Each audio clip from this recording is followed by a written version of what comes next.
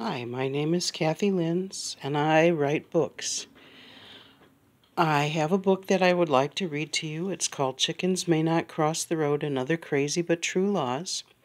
And it has a lot of information in it, but it has some really funny stuff. So I'm going to read you some of the cool parts, and you think about uh, what kind of a crazy law you think we should have next. So here it is.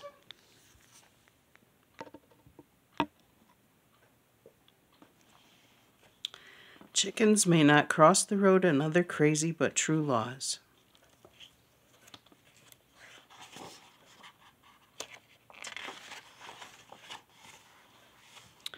It is against the law to carry an ice cream cone in a pocket if you live in Lexington, Kentucky.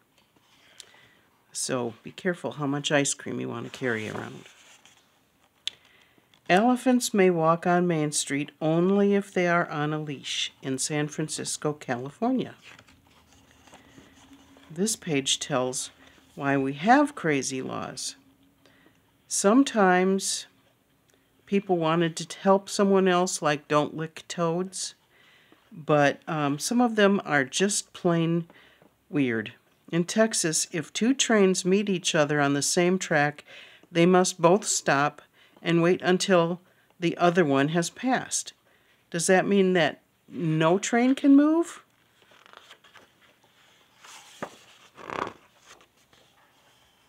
Donkeys are not allowed to sleep in bathtubs in Brooklyn, New York. Okay, I won't do that. No one may carry an uncaged bear down the highway. Hey, if you're strong enough to carry a bear, You're doing really good. You must have a doctor's prescription to take a bath in Boston, Massachusetts. No one may lay laundry out in the street to dry in Savannah, Georgia. Well, wouldn't your clothes get dirty if they lay down in the street?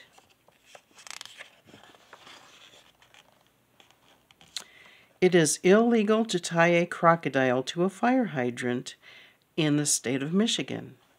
Well, that one even makes sense because then the firemen couldn't get there. And this says what would happen if we didn't have any laws. Well, then anybody could do anything and they could take your bicycle and it would be okay. No one may take a lion to a movie theater in Baltimore, Maryland.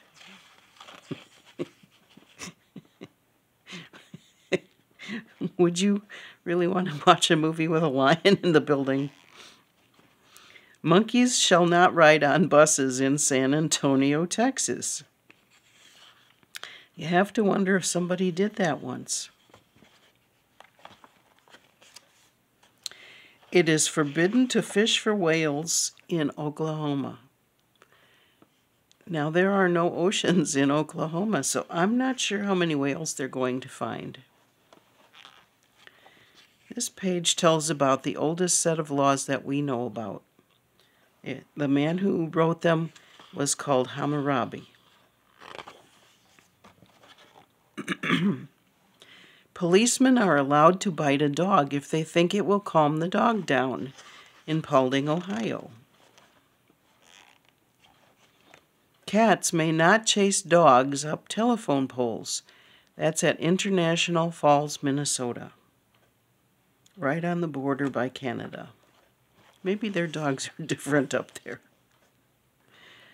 Only the first four firemen to arrive at a fire will be paid in Ziegler, Illinois. That would make sure the firemen got there in a hurry, wouldn't it? You may not swim on dry land in Santa Ana, California. Chickens may not cross the road in Quitman, Georgia. I wonder why not. Then we talk about the rights of the people in the United States.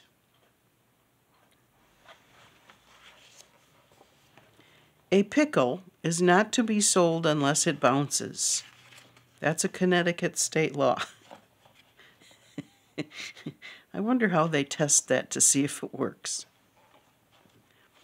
Horses may not eat fire hydrants in Marshalltown, Iowa. Do you think a horse ever ate a fire hydrant? Trout fishing is against the law if you are sitting on a giraffe's back in Idaho. Wonder how many giraffes they have in Idaho. No one may drive while asleep in Memphis, Tennessee. I think that's pretty much a law everywhere.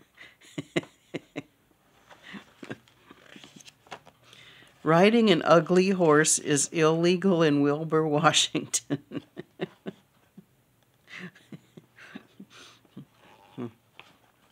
All traffic must come to a stop if there is a bird on the highway in Utah.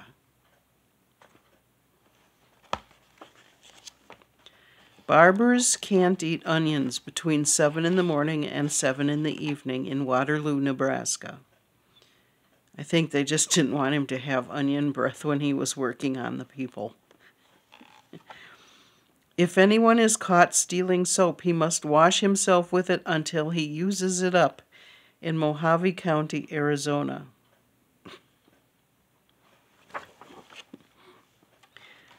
These two pages tell how our laws are made in the United States and how we can vote for the people who make our laws, and that's how we get to help choose what kind of laws we get. And then I have an author's note. Many laws are just plain crazy no matter how you word them, but some sound less crazy in their original form. For example, the California Fish and Game Code has a three page list of animals that may not be kept as pets. It's funnier to pick out the oddest animal on the list. It is illegal to keep slugs or land snails as pets. Many of the laws in this book were established during the end of the 1800s and the early part of the 1900s. Our country changed quickly in the 20th century, going from hand and horse labor to machines. We learned how to drive cars, fly planes, and dry our clothes in a machine. That rapid change gave us laws like drivers of motor vehicles must come to a stop if they scare a horse, and it is against the law to drive a car into town without calling City Hall first. Some of these laws went out of date and were repealed. The rest are still on the books, but are not enforced because they won't work with our new way of doing things. And well, they aren't enforced because they just don't make any sense. I hope you enjoyed that, and I hope you have a good day. Thank you for um, listening to my book.